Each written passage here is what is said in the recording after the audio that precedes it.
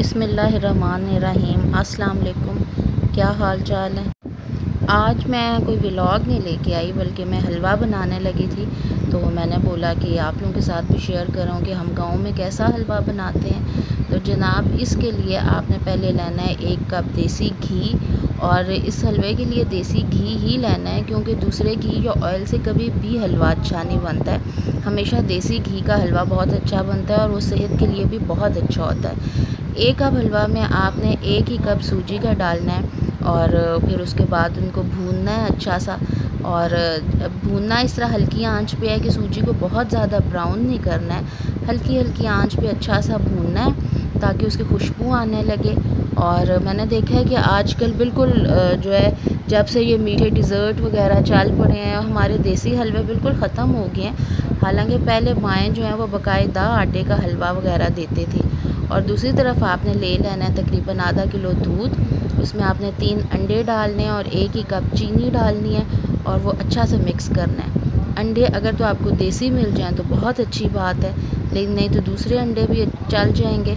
और जो है इसमें जो है इतना ये मज़े का होता है कि आप लोगों को इसमें कोई भी दूसरी चीज़ ऐड करने की नहीं ज़रूरत, जैसे नट्स वगैरह। अगर डाल दें तो अच्छा है।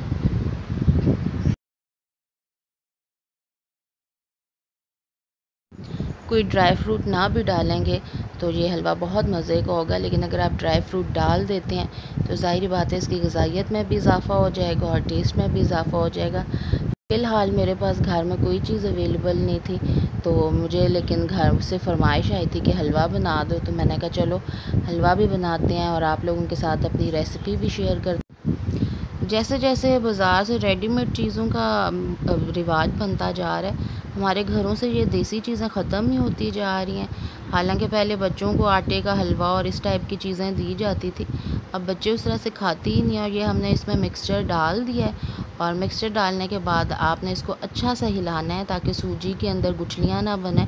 शुरू में थोड़ा तेज़ हिलाना पड़ेगा और आँच जो है वो काफ़ी धीमी कर दें ताकि ये गुठलियाँ अंदर से ना टूट जाएँ। और ये गुठलियाँ टूटने के बाद हम इसको भूनेंगे। और इसको आहिस्ता आहिस्ता ये जो है वो पहले जो है वो इतना ज़्यादा थिक नहीं होगा, आहिस्ता आहिस्ता वो पका जाएगा।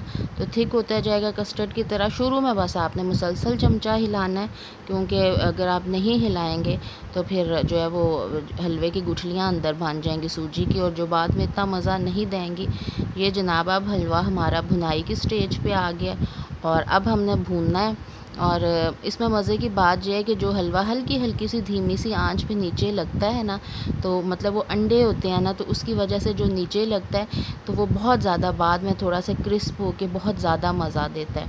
आहिस्ता आहिस्ता जनाब, अब हम इसकी भुनाई कर रहे हैं। और खुशबू बड़ी अच्छी देसी घी की उठ रही है। और ये देखें, ये हल्का सा जब भुनाई करते हुए नीचे थोड़ा सा लगता है, वो लगना क्या कहना है हीट लगने से अंडे की पकाई होती है तो बहुत अच्छा हलवा रेडी हो जाएगा अब हमारा। ज़रूर बनाइएगा ट्राई कीजिएगा, ज़रूर बनाइएगा और बताइएगा कि कैसा बना। अल्लाह हाफिज़।